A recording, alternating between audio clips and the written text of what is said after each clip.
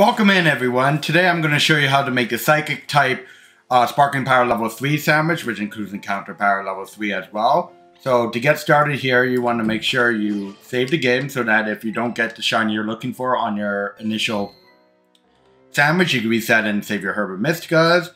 Um, of course, you want to make sure auto saves off in the options, and then you want to set up a picnic. So in a picnic, you're going to be creating a custom sandwich, uh, which we're going to do here. In this custom sandwich here, you want to refer to the chart on the right. And on the right here, there's a chart that shows you each ingredient and what you need to do. So what we're doing is we're to have cucumber and pickle to start off. And since we're using Psychic, we're doing three ingredients of onion. We're to use three ingredients of onion that I think I just passed here. Yeah, there we go. And then two of the Herba Mysticas. Um, but they, as you see the chart, you can't use two of different certain ones or they're not gonna work. So we're gonna use sweet and salty. And uh, we're gonna make the sandwich.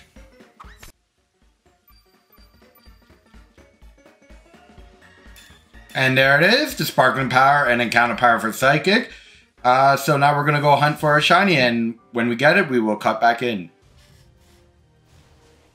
And there it is, guys our shiny Indeedee.